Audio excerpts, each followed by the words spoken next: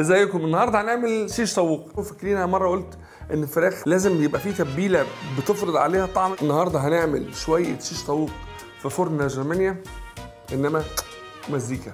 يلا.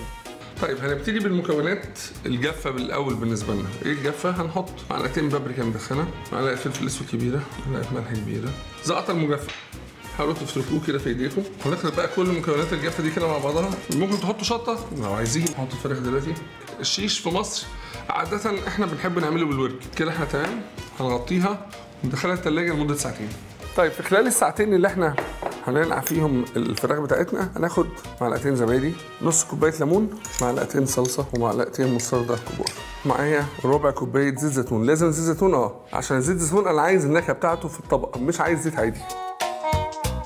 كده الساعتين بتوعي تمام؟ زي ما هي في التتبيله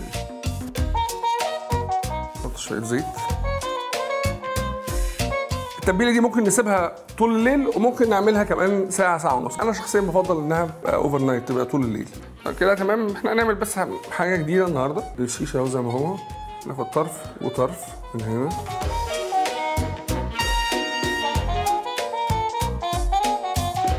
ونغرزها بالبصلة كده.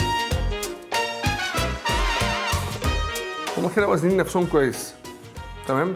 ليه عملت كده؟ السيخ الحديد بيساوي قلب الشيش بسرعة.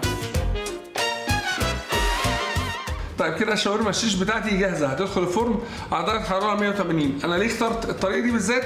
عشان المروحة بتاعت التوزيع اللي جوه الفرن هتوزع درجة الحرارة على كل فتفوته فرخه في الشيش اللي إحنا عاملينه ده دلوقتي. وهتطلع مسويه في بنتكلم من 10 ل 12 دقيقة. عشان كده قلت لكم الأكلة دي سريعة. ممكن يبقى تحضيرها بياخد مني وقت. بس هي تسويتها في 10 دقايق.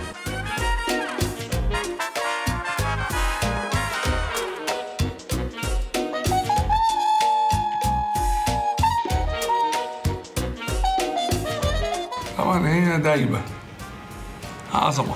جربوا الريسبي دي عشان تبصوا منها قوي